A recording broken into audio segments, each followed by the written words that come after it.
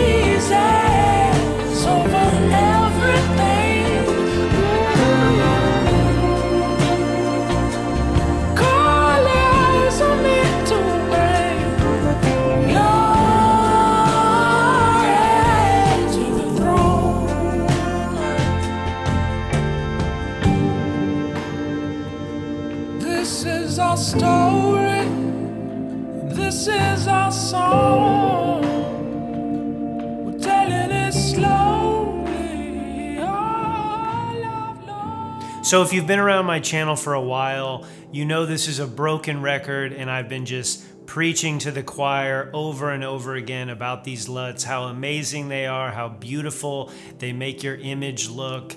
And uh, yeah, so I have to keep talking about it because they're that good. And Joel has worked tirelessly, uh, put his blood, sweat, and tears into these LUTs over the course of the year, two years, whatever it is that I've known him and uh, and been using them uh, with my Sony Alpha cameras and now with the Blackmagic Pocket Cinema camera. And so it just made sense to uh, yeah re-energize this entire line of uh, LUTs from the film look pack that is just amazing with its Kodak and Fuji uh, stocks that just they bring out the richness and the true film look that a lot of us are going for. And then on the Arri LUTs, um, you know, most of us are not going to be able to afford a setup like, uh, you know, an Alexa or, you know, the Amira. But with these LUTs, you can really get close to making your camera have that beautiful,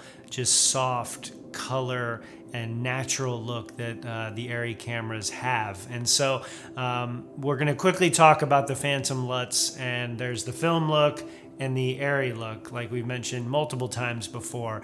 And uh, a single pack is $49. You can get both of them for 80 bucks, so it's a no-brainer um, because it's, it's really an art form what Joel's done in, in making these so that it is almost effortless when you get down to editing, that you can apply these lookup tables and do minor correction and you will get amazing results.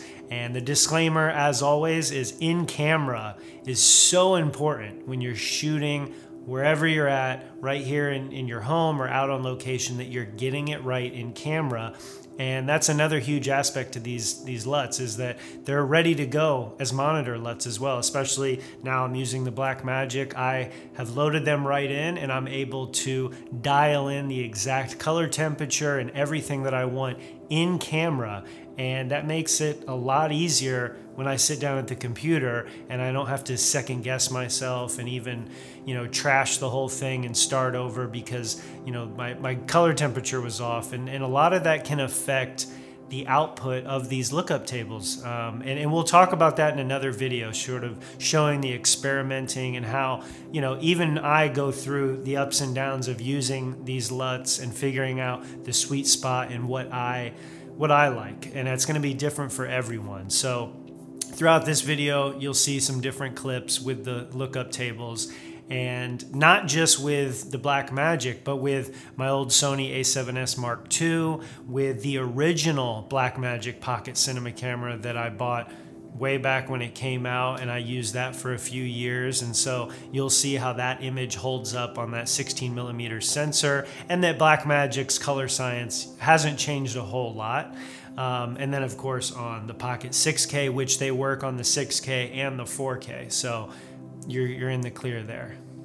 So the Phantom LUT pack is available for the Sony Alpha series, not including the A7S Mark III. That is coming very soon, highly anticipated, of course. It's available for the Blackmagic 4K, 6K pocket cameras. It's available for the bigger Sony uh, F55, um, the F, FS, I think the 5, the FS7, and it's also available for the Arri, Alexa, and Amira cameras. So if you are uh, a user and you're watching this video, that's awesome. Um, and it is available for those as well.